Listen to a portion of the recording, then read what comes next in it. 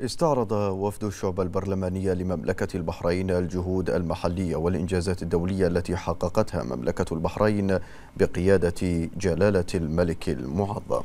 جاء ذلك خلال مشاركة وفد الشعبة البرلمانية في المؤتمر العالمي العاشر للبرلمانيين الشباب بجمهورية أرمينيا واستعرض الوفد الجهود التي تبذلها السلطة التشريعية في مملكة البحرين في تمكين الشباب وتدريبهم وإدماجهم في سوق العمل. مشيرا الوفد إلى أن صندوق العمل تمكين يعد أحد الركائز الأساسية للمشروع الوطني في مملكة البحرين ورؤيتها الاقتصادية والذي يعزز تنمية القطاع الخاص وتزويد البحرينيين بالمهارات المرتبطة مع سوق العمل.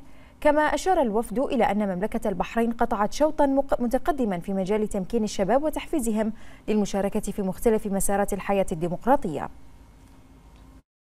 طبعا إحنا في الجلسات بشكل عام استعرضنا العديد من الأمور المتعلقة في أمور التعليم وتدريب الفرص.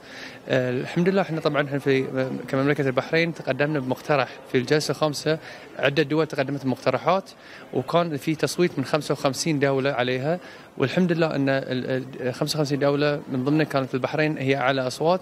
حريصون نحن في الشعب البرلمانية على المشاركة في المؤتمرات والبرلمانات المعنية بشؤون الشباب والتي تهدف هذه المؤتمرات إلى إبراز جهود مملكة البحرين في هذا الشان طبعا.